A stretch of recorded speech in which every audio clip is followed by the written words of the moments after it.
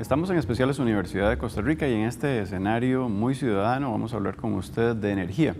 Un tema muy pertinente en estos tiempos y sobre todo eh, algo que le compete hoy en día a los consumidores.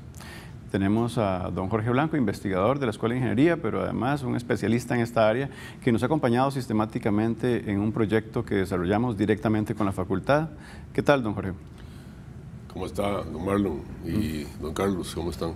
Bueno, también nos acompaña don Carlos Montenegro, quien es subdirector ejecutivo de la Cámara de Industrias. Muchas gracias por acompañarnos y sobre todo porque nos va a dar otro punto de vista en el marco de este tema que es fundamental para el país. Don Carlos. muchas gracias por la invitación y un saludo para todos. Eh, para iniciar, sobre todo, existe todo un plan nacional sobre la hoja de ruta adecuada en el tema de la energía a nivel nacional. Eh, ¿Cómo lo ve la Cámara y también cómo ve el trabajo que está haciendo el Estado en ese sentido? Bueno, eh, realmente en el gobierno anterior eh, se realizó un plan nacional de energía. sin embargo, hay alrededor de 220 medidas o acciones que vienen en ese plan y si nosotros hacemos una valoración de cuáles de esas acciones realmente se ha avanzado, es muy poco. Entonces, eh, siento que este, se hizo un esfuerzo, pero eh, todavía mucho está en el papel. En este gobierno hemos sentido aires, digámoslo así, aires frescos y tanto eh, la perspectiva del ministro rector como de algunos actores muy relevantes, el caso del ICE, por ejemplo, eh, tanto el ministro rector como en el ICE pues han eh, expresado que este, desean impulsar cambios radicales respecto a lo que el país venía este, haciendo en el pasado. Don Jorge. Sí, el Plan Nacional de Energía, digamos que establece un desarrollo energético sostenible con reducción de emisiones. Yo sé que los asociados de la Cámara de Industria han hecho un programa muy intensivo en auditorías energéticas, en eficiencia energética, en tratar de bajar los costos de producción. Pero en ese sentido, digamos, ¿qué ha hecho la Cámara para colaborar con la política de descarbonización que tiene el gobierno? Sí, bueno, tal vez ahí eh, me gustaría mencionar que en el, en, el país, digámoslo así, globalmente, eh, la, contribución del país en, emisiones al planeta es relativamente pequeña. En, el, en, el, en la matriz energética nuestra, eh, el, el, principal aporte a las emisiones este, lo realiza el sector transporte. Y en este sentido, en el sector industria llevamos muchos años eh, trabajando. Desde la Cámara de Industrias hemos creado incluso un programa de, lo llamamos de administrador de la energía, para formar dentro de las empresas este, personas preparadas en este tema eh, y que han venido eh, implementando programas. En, por ejemplo, en la agroindustria ya hay un gran avance en el tema de aprovechar todo lo que son cascarilla de la palma, eh, desechos del, procesamiento de arroz, eh, en el caso de la zafra también, o sea, son, eh, incluso hay algunas empresas que están probando ya dos, tres años calderas con pellets, con biomasa, tratando pues, de ir incorporando este, esas nuevas opciones, diríamos que en el pasado pues no se usaban, se usaba básicamente o búnker o diésel para las calderas, este, y la contribución de la industria en, emisiones y en uso de combustibles es relativamente bajo. Eh, ayer pues eh, perdón, hace algunos días que tuvimos el congreso de, uno de los congresos nuestros de energía, donde ya la participación de la industria, por ejemplo, en consumo de combustibles es eh, relativamente baja. Y ahora pues hay nuevas alternativas que estamos nosotros tratando de divulgar a nivel de nuestros asociados, de utilizar, por ejemplo, calderas que funcionan con electricidad que son pues, nuevas formas de ir contribuyendo en este proceso de descarbonización de nuestra economía, que lo vemos y lo, vemos como una oportunidad y donde la industria, sentimos nosotros, va a ser un aliado importante, porque ya, digamos, ha venido dando muchos pasos en esto, en eficiencia energética, en capacitación de la gente, este, para, para eh, digámoslo así, desarrollar empresas que sean sostenibles. Hoy nosotros vemos la, competitividad de las empresas como la posibilidad de mantenerse en el mercado, este, dando empleo y para esto al día de hoy pues es eh, impensable que una empresa, digámoslo así, eh, que no sea responsable con el ambiente, que no sea eh, que no tenga buenas prácticas pueda este, sobrevivir en el mercado. Hoy con redes sociales y demás, este, un, solo problema que, que, sale a la luz pública y le quita compradores que es lo peor que puede tener una empresa. Don Carlos, usted ha rescatado ahora que del plan de desarrollo planteado, de repente hay muchas cosas que, que no se pueden cumplir de inmediato y que casi que son eh, cosas que quedaron en el papel nada más. Eh, vea que ahora me preocupa otra cosa que tiene que ver con la política macroeconómica y es que esa política macroeconómica va íntimamente ligada a las inversiones y desde la Cámara, ¿cómo pueden ustedes hacer una revisión crítica eh, en el marco de una discusión fiscal que ha sido eh, desastrosa? Bueno, eh, en el tema eléctrico, por ejemplo, hemos visto más bien un, después del 2007 que hubo unos, apagones porque faltaba, digámoslo así, este, capacidad de, generación local, Eh, pues se discutió mucho la posibilidad de abrir el mercado eléctrico para que fuera el sector privado el que participara. Este, Me queda un minuto en este bloque. Invirtiendo. Eh, y esto lamentablemente no se logró y más bien lo que se vio fue un incremento en inversiones, especialmente públicas. Hay un aporte adicional del sector privado, pero eh, en, este, en el sector eléctrico hoy más bien tenemos un, exceso, un eh, sobredimensionamiento de la capacidad de potencia instalada. en el, eh, ¿Y eso es bueno o malo? Eso es, eh, desde el punto de vista de los consumidores, es malo en el sentido de que todas esas inversiones, al ser una tarifa regulada, este, tienen que pagarse en la tarifa. Lo ha dicho don Jorge. No hay, no hay esa, esa posibilidad, y más con los problemas que tenemos para exportar, este, de aprovechar esa capacidad instalada este, exportando y generando ingresos para bajar las tarifas locales, sino que más bien hay que aumentarle las tarifas a los consumidores para pagar ese exceso de inversiones. Pero además hay otro elemento importante que es que la demanda de electricidad no ha crecido lo que se planificó. Estamos como en menos de 1%, en el 2017 un 0.8%, y eso hace, digamos, que los ingresos de las empresas eléctricas se vean afectados. Absolutamente, veníamos con tasas de crecimiento del 7 y el 5% y con base en esas proyecciones se planearon una serie de inversiones, pero la realidad es que eh, el, cambió no solo los programas mismos de eficiencia energética que han hecho las empresas, sino también, ya por ejemplo en el sector eléctrico hay cerca de 30 megas instalados eh, eh, en, sistemas fotovoltaicos en generación que han hecho los mismos consumidores y entonces eso también ha, hecho que la demanda este, se reduzca y este sector, digámoslo así, eh, está enfrentando ese, ese grave problema. Estamos, estamos con esto ahora también para retomarlo en el segundo bloque. nos acompaña hoy el subdirector ejecutivo de la Cámara de Industrias, don Carlos Montenegro. Estamos haciendo televisión con sentido acá en el canal Universidad de Costa Rica.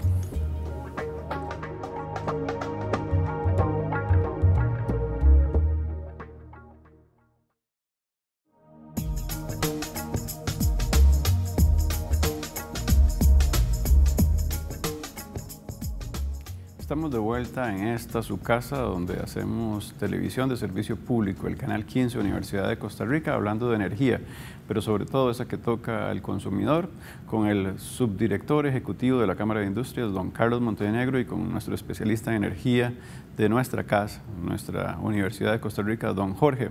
Don Jorge, ahora usted nos comentaba un poquito sobre eh, cómo eh, golpea al consumidor muchas veces eh, esa forma en la que lo pagamos y es así que usted tiene confeccionada toda una reflexión crítica en ese orden.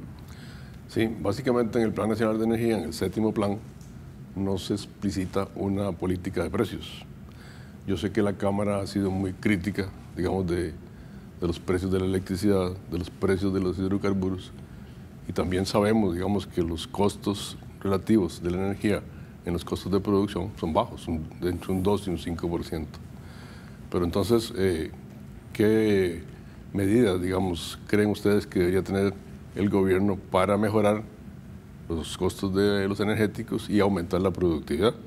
Porque sabemos que la producción nacional se ha orientado hacia los servicios, no tanto hacia la producción fabril intensiva en electricidad. Entonces, es importante saber qué requieren ustedes para, para aumentar la productividad. Sí, eh, en la Cámara de Industrias hemos hecho eh, encuestas a los asociados y eh, cuánto impacta el costo de la electricidad y los combustibles en las empresas varía mucho de, de, una empresa a otra, de un proceso, de qué tan intensivo es el proceso en el uso de energéticos este, dentro de, de, una empresa y, y, y, puede ser muy diferente a la otra. Ese, ese promedio país este, respecto al, a cuánto representa la, la electricidad este, y res, respecto al Producto Interno Bruto o respecto al precio final de los productos, este, pues a veces eh, no, no contempla lo, lo importante que es y le voy a explicar por qué. En Costa Rica, en el caso de la industria, lo que tenemos fundamentalmente son industrias de transformación que importan insumos, los transforman en, en, el país y ahí es donde, en ese proceso de producción es donde se le genera el valor este, que Costa Rica le pone. Entonces, en Costa Rica, ¿qué le ponemos? Pues mano de obra, algunos insumos. ¿Pero nos puede poner un ejemplo en específico? Sí, eh, qué sé yo, digamos, eh, si, si cemento, por ejemplo, o cualquier, cualquier producto industrial, un bollo de pan si usted quiere, ¿verdad? Uh -huh. este, lo, para, para, producir eso compramos la harina, compra eh, eh, y, y, Lo digo en términos mucho de energía para que la gente lo entienda. Sí, bueno. utilizamos, por ejemplo, electricidad para, para cocinar ese, ese, uh -huh. ese pan, ese pastel, que luego, si lo pretendemos vender en el exterior, lo queremos exportar, entonces, ¿qué es lo que cuenta? Lo que cuenta la harina la podemos comprar a precio internacional, así como los, eh, compramos también los derivados del petróleo. Perdón. y lo que impacta el, el, aumento que hacemos en el costo de ese producto localmente es la mano de obra y los insumos locales este, que se le agreguen. Okay. Entonces, en el, a la participación en esa fracción, en esa parte, que es lo que agregamos localmente en el país, de los energéticos es importante. Eh, en el caso, en el caso de, de, de, industrias, nosotros tenemos algunas que nos han revelado, por ejemplo, que es más importante el costo de los energéticos que el costo de la planilla en sus procesos productivos. Y empresas, qué sé yo, sector plástico, algunas del sector metalmecánico, este, eh, algunas del sector alimentario que necesitan, digamos, cocción o mantener fríos, los, los, mantener este, sí, a temperatura sí, muy a baja los alimentos, conservarlos. Eh, el impacto de, de la energía este, para, para, para, estos procesos. Tiene afectación directa. Sí, en algunos llega hasta el 30, 40, en algunos el 14. El promedio de los que nosotros encuestamos fue de un 8%. Entonces ya cuando sumamos al país los servicios que tienen ahí, digamos, eh, operaciones, muchas pues, tiendas y demás que únicamente utilizan, por ejemplo, la, la iluminación, entonces el, al promediar el país pareciera que es poco importante, don, don Carlos, pero para la industria pues un, sí es, es, es, un, es un En, eso tema. que usted plantea, un productor entonces necesita insumos para poder competir. Entonces en esa materia estamos un poco quedados de alguna manera. Sí, eh, el país en, en, en, el tema eléctrico en los últimos 10 años la electricidad en dólares aumentó un 100% prácticamente. Esa tendencia no se da en otros países este, que nosotros monitoreamos. En Europa más bien bajó un 1% en esos mismos 10 años. En Estados Unidos subió solo un 10%, cuando aquí subió un 100%. Entonces, eh, en esa medida es que la, la Ahora, Cámara de Industrias pues, reclama por okay. competitividad. Para, para, tener claro ese panorama, nada más, si, si, uno hace una fotografía de eso, eso quiere decir que estamos equiparados en precios o verdaderamente inclusive estamos por arriba de Europa y Estados Unidos, como usted lo está diciendo, porque si subió un 100% para equipararse, Eh, no está mal. El, tema es que ahí eh, don, don, Jorge nos ha tocado el tema de la política de, precios. Sí. En, en, Europa y en Estados Unidos una industria, una industria grande de altos consumos, este, paga un 40 o un 50% de lo que paga este, un consumidor residencial.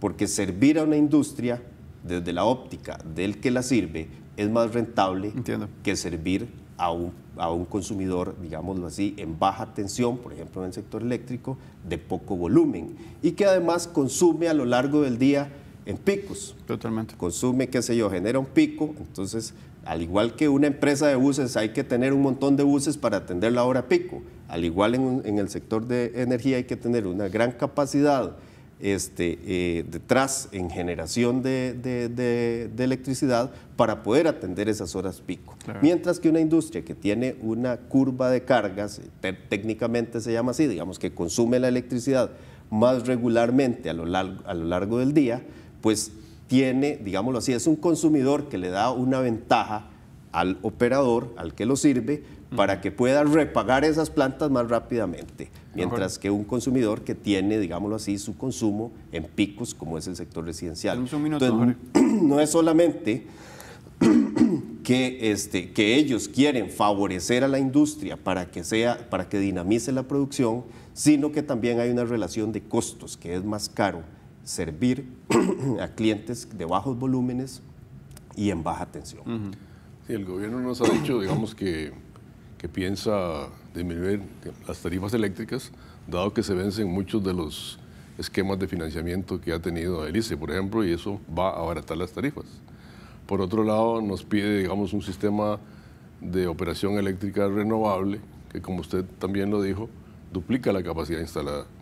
¿Cree que usted que es posible que se bajen las tarifas con esa política de, de un sistema eléctrico renovable? Eh, tomando, digamos, préstamos como para los proyectos geotérmicos, que se acaba de tomar un préstamo de 500 millones de dólares. Vamos con, a respuesta para con proyectos geotérmicos que son de los más caros, 4 mil dólares por kilovatio instalado. Vamos a dejar esa respuesta para el otro bloque, que es una pregunta verdaderamente problematizadora de, de nuestro especialista en energía, don Jorge Blanco. Estamos haciendo televisión con sentido acá en la Universidad de Costa Rica.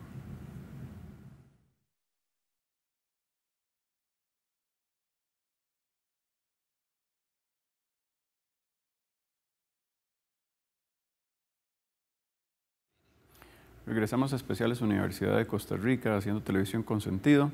Eh, don Carlos, don Jorge, eh, del bloque anterior dejó una, una, pregunta en la mesa y creo que es muy valiosa y es cómo de algún modo eh, esa política estatal en un momento determinado por lograr que la factura verdaderamente sea inferior es posible.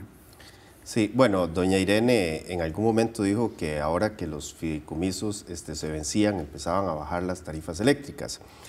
Eh, yo tengo ahí dos, temas. Uno es eh, que tenemos una, un esquema tarifario regulado que ha sido de pasar los costos a la tarifa y entonces en ese sentido, este, si, si las cuotas de los fideicomisos pues dejan de pagarse, pues debería bajarse por metodología tarifaria. Pero estamos en un momento clave donde ya la disrupción tecnológica está afectando al sector eléctrico.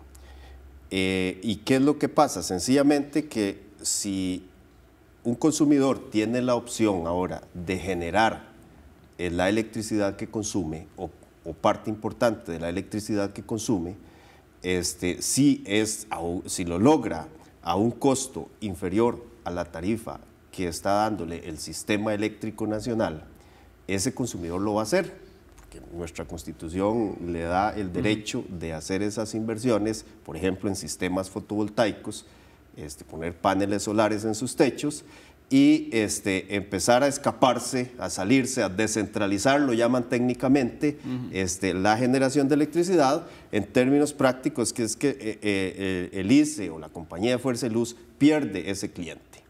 Entonces, ahí, o en una empresa privada, cuando alguien llega y empieza a vender un producto a menor precio, usted que produce ese producto tiene que bajar los precios, porque si no, se va a quedar con el inventario ahí.